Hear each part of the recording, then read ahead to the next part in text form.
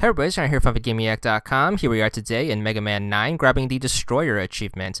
This is to kill 1,000 enemies. Now, normally you should be able to get this done about the time you beat the game or so, but if you want to grind it out a little earlier, you could do this. After beating Jewel Man stage, start up Plug Man stage, and then what you want to do is you want to equip and use Jewel Satellite.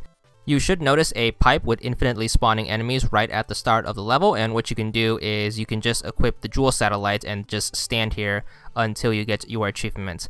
This is also a really great spot to grind out the bolts, so if you ever need any bolts for whatever amount of money you need, you can just stand here and keep grinding this out. There is a pit of spikes right next to you, so once you get your desired number of bolts, you can just kill yourself and then save the game, and you should have infinite money this way. It takes about three hours or so to get a thousand bolts, and once you have that, you should be more than good enough for your entire playthrough. You can spend it on E-Tanks or 1-Ups or M-Tanks, whatever you want. But nonetheless, you can also use the spot to grind out this achievement. So I was able to get this done in about two minutes or so. So once you get enemy number 1000, you should be good for the achievement. There it is. It's going to be for 20 gamer score, and that's all there is to it.